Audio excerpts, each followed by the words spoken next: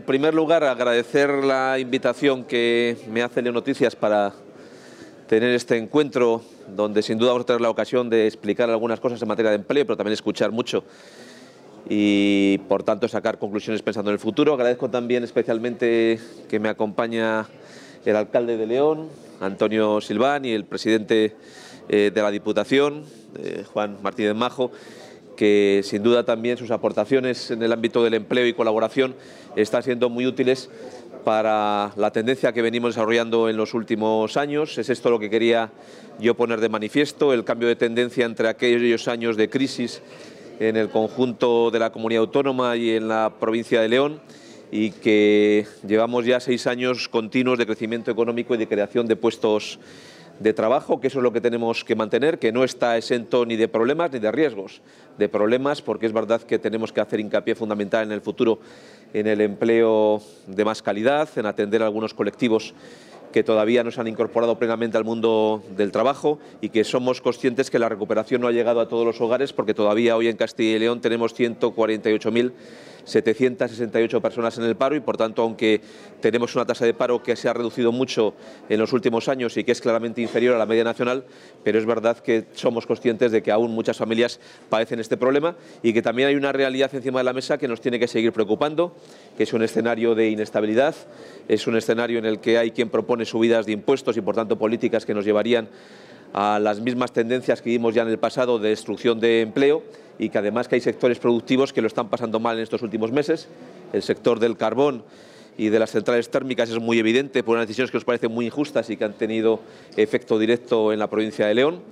pero también estamos viendo una preocupación en torno al sector del automóvil, donde llevamos siete meses consecutivos de reducción en la matriculación de vehículos en España y es un sector que es muy importante para el conjunto de nuestra comunidad autónoma.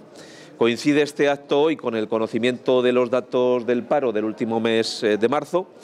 El dato del paro, yo hago primero una valoración para el conjunto de la comunidad autónoma y luego me centraré en concreto en la provincia de León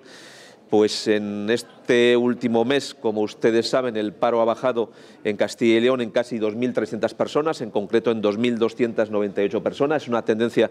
que venimos registrando en los últimos años. Esta bajada del paro en la provincia, en la, perdón, en la comunidad de Castilla y León inicialmente, esta bajada del paro en esas 2.298 personas supone una reducción superior porcentualmente a la del conjunto nacional. En Castilla y León una reducción del 1,52%, en el conjunto de España el 1,03%.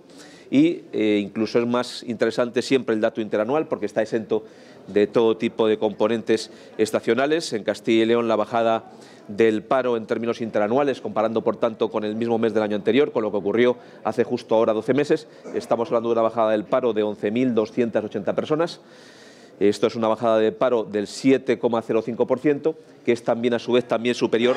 a la del conjunto nacional, donde fue el 4,9%. Por tanto, es una reducción del paro más intensa en Castilla y León que en España, tanto en términos mensuales como interanuales. Tenemos 11.280 parados menos que hace un año y lo que es muy importante es que tenemos 13.700 afiliados más a la seguridad social, lo que significa que está creciendo más rápido el número de afiliados a la social que la bajada del paro, lo que significa en definitiva que toda la bajada del paro se debe al incremento del empleo, al incremento de afiliados a la seguridad social. Estamos hablando de 11.300 parados menos y de 13.700 afiliados más a la seguridad social. Esto está haciendo una tendencia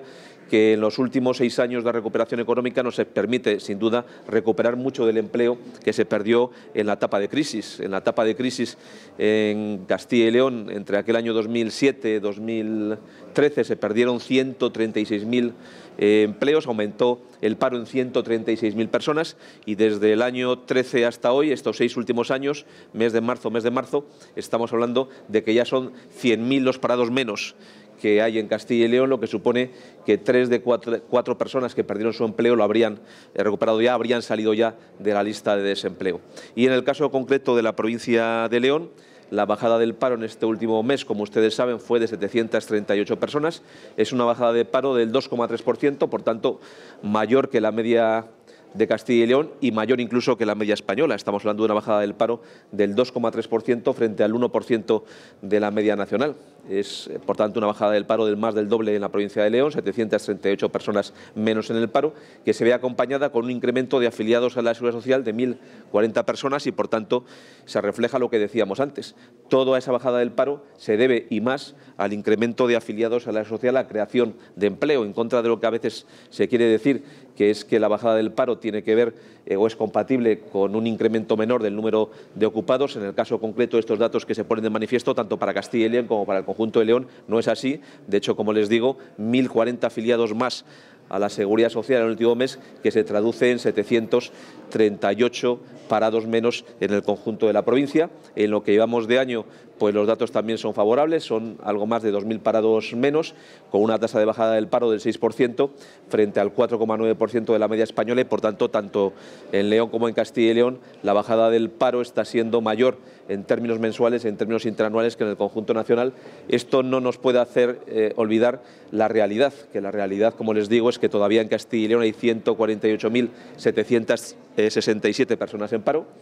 que eh, la calidad del empleo todavía no ha alcanzado el nivel que nos gustaría y que son muchas las personas que queriendo encontrar un puesto de trabajo todavía no lo encuentran y por tanto tenemos un amplio camino por recorrer que se pone de manifiesto en que siendo verdad que el 75% de las personas que perdieron su empleo ya no están en el estado del paro, pero todavía nos queda reconocer que uno de cada cuatro personas que perdieron su empleo aún no lo ha recuperado y por tanto aún estamos eh, sin alcanzar el nivel de empleo y el nivel de paro que teníamos antes del inicio de la crisis económica y esa es una realidad con la cual tenemos que combatir, pero sería un error dar por concluido este periodo, por tanto dar por eh, concluida la tasa, la tasa de recuperación y el periodo de recuperación e iniciar un periodo con las mismas políticas que nos metieron en la crisis. Eso sería ahora lo más equivocado, sin lugar a dudas.